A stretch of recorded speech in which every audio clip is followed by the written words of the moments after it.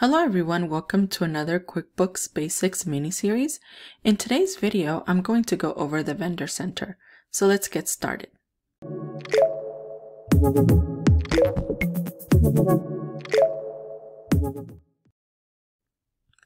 To access the Vendor Center, go to Get Paid and Pay, and then Vendors.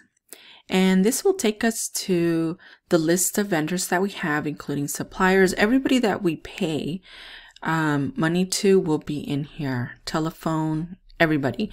QuickBooks Online doesn't distinguish between um, uh, like a contractor or um, a supplier or utility. Now there is a section um, where you can add contractors for 1099s, but I tend to use it all in here because this is where you can enter all the information fairly quickly. And there's a lot of things that you can do in here.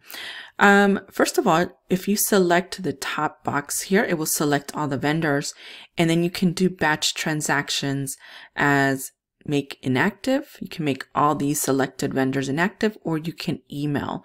Um, when you clicked email, it will open your Outlook or any desktop mailing provider that you have. And um, so you can send out emails to all your um, vendors. And you can also um, do a quick search for a vendor. Um, so I can search quickly for just a specific vendor and it will take me directly to that vendor information. Um, if I click on this like arrow with the three lines, it opens up the list on the left hand side. Um, but let's go back to the vendor center. So at the top right corner, you could see here it says new vendor. Of course, that's where you can create a new vendor. And you can also create uh, 1099s. I believe if you have the plus, you will have this button um, where you can, you can also pay bills, order checks, and with the drop down arrow, you can import your vendors instead of adding them one at a time. And in my uh, first video, I showed how you can go and import your chart of accounts under the gear icon and then um, import data. And you can easily get a template that they provide and you can upload all your um, vendors through there. We also have this top bar at the top, it's colorful as you could see, which will let us know how many purchase orders we have. If we click on it, it will select just the vendors that have open purchase orders.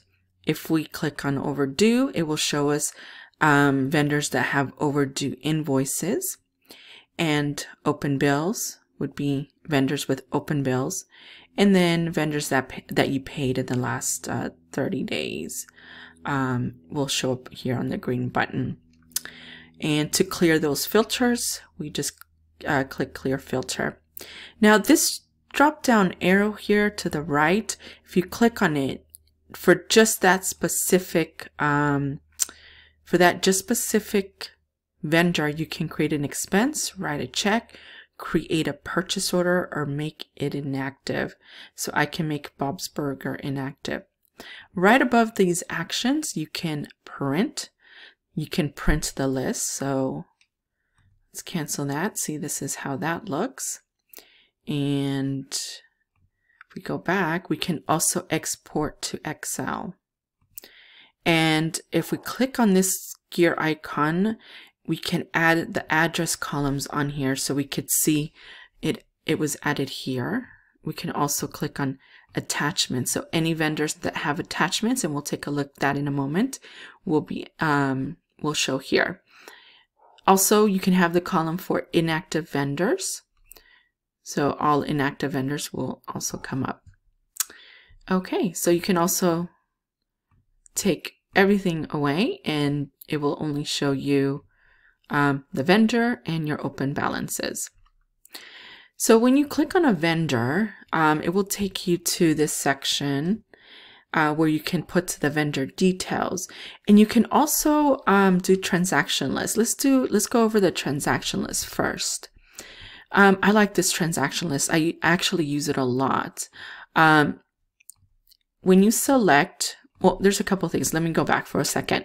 So I'm at this vendor. Let's say that Bob's Burger is really not for meals and entertainment. I can quickly change the account here and it's done. It's changed. So when I open the transaction, as you can see, the category was changed as well.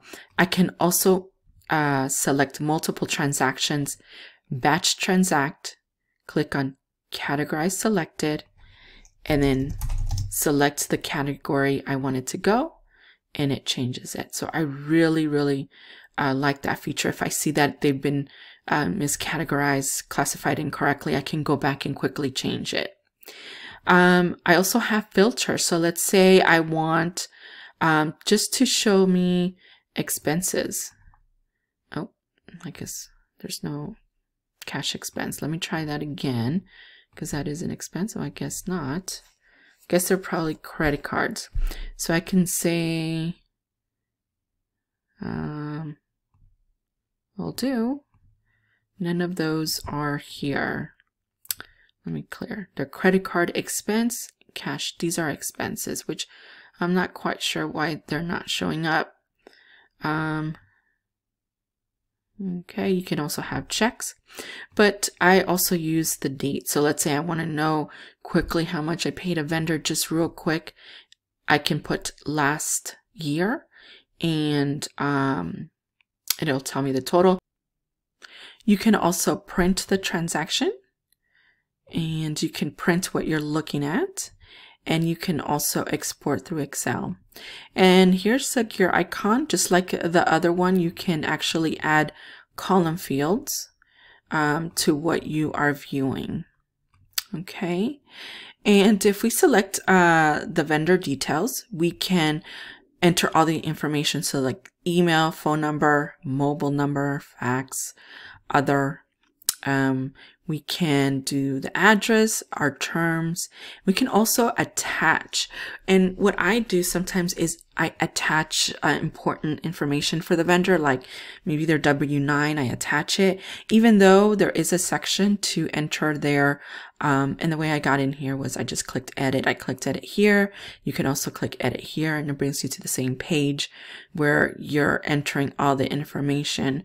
Um, I, you could have, if you have account numbers for them, you can put the account numbers. Um, if it's a contractor, put their um, EIN number, social security. And then if they need to get a 1099 at the end of the year, I click track 1099. If I want this certain Bob's Burger joint to just be office expense, I can select it there. So when I'm entering an account, it will default to this, uh, to this account. I don't have to keep on typing it in. I can attach files here and um, I can drag, open, click, and attach files. Like I say, I put like maybe supplier contracts, terms, um, special terms, uh, W-9s, anything that I want to track for that specific uh, vendor, I put it there. I can also write notes. Um, and this will, I mean, you can put a lot of notes in here. Um, you can maybe um, put when you spoke to them, what if what issue, why you are not going to use them again, things like that. Um, you can put notes up here. You can make um, also this vendor inactive here. So you can see the notes that I typed in um, are shown up here in the top left corner. And when you are in this uh, vendor, you can also do a bill for this vendor, time activity, expense, a check, a purchase order, vendor, or pay down a credit card when you're in this uh, in the selected vendor. And if you go to the left column, up here, this little plus sign, you can actually add a vendor fairly quickly. You can also sort by name.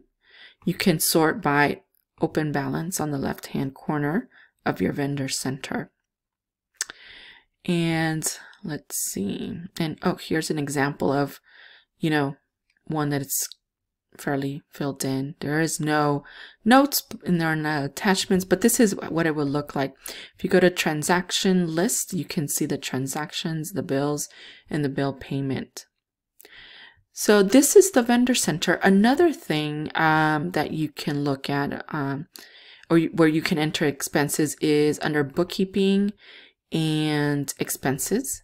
Now this is not the vendor center, but this is um, this is like where you can enter just transactions. It's a transactional list of everybody and everything. Um, you can um, do batch print. Oh, you can't do batch print here. I believe you can't. No, you can't categorize only because I you can't you can't batch print or reclassify bill payments. So that's why when I selected that. Here, let's try this. Maybe we can filter transactions. Let's see, expenses, apply. We should, yeah, now we can do categorize selected because all these can be categorized as well. And um, you can also do the same thing where you can come and, you know, change the account uh, fairly quickly as well. And this will let you print um, all these uh, vendors, I guess, um, information. You can print it.